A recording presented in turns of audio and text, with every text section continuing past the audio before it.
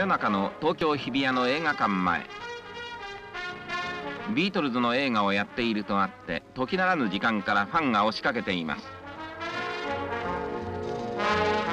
会場までの長い長い時間はビートルズへ気持ちのほどを書き記します。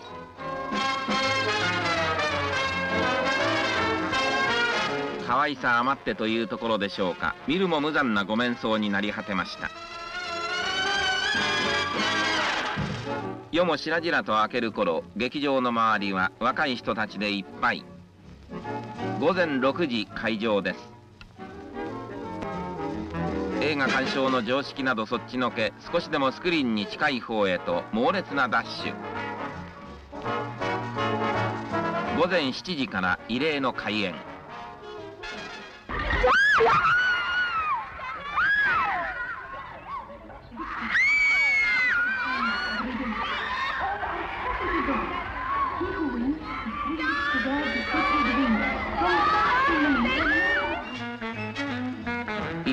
テレビ局の「ゴーゴーコンテスト」にも大勢の若者たちが殺到。ス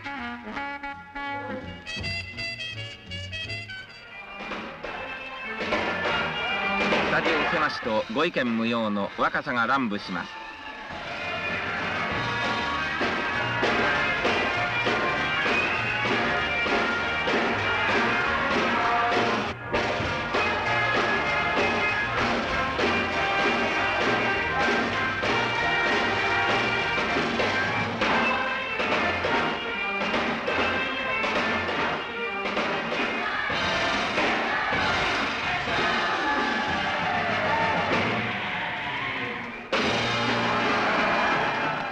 この戸田君たち4人の高校生のグループもエレキに魅せられた仲間です。楽器はアルバイトをしながら月賦で買い入れました。新聞と雑誌の配達が主な仕事。エレキ締め出しへ大人たちの世論が高まっている時にこれはまた関心なお話。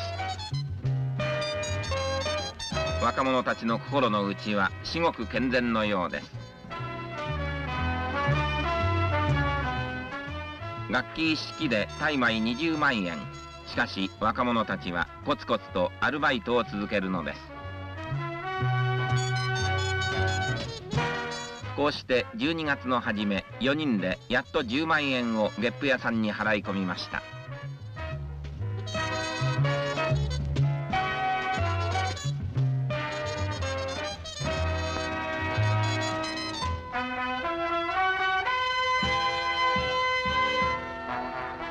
楽器はようやく自分たちのものになっても今度は練習の場所がありません。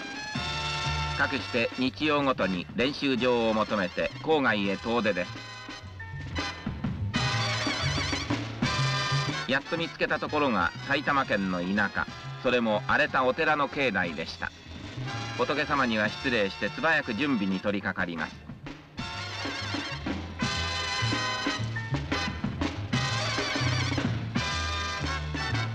頭で考えるより体で感じようと強烈なリズムに酔いしれる若者たちです。聞いているのは仏様だけ。人のいないところでしか力いっぱい弾けないのはやはり寂しいことです。